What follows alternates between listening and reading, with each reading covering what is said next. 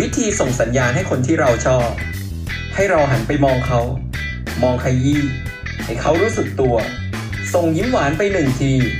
พร้อมกับพริบตาปริบๆเขาหันมามองคุณ ให้คุณรีบมองต่ำและมองสบสายตาเขาอีกครั้ง เขามองคุณอยู่ ให้รีบมองหนีและหันมาดูเขาอีกทีทำให้เขาสนใจ เต้นกระตุกไหล่ฉีกยิ้มให้เขาหนึ่งทีเขาหันมาหาคุณแล้ว ให้คุณรีบรับตา หยุดลืมตา มองเขาส่งจุ๊บจุ๊บแรงกว่านั้น เขามองคุณอีกครั้ง เต้นให้แรงกว่าเดิม และปล่อยเขาไปเถอะ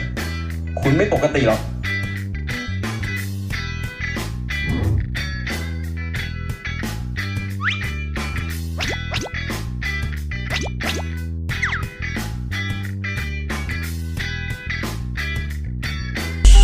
I wanna kiss นั่งชิชิวอยู่ริม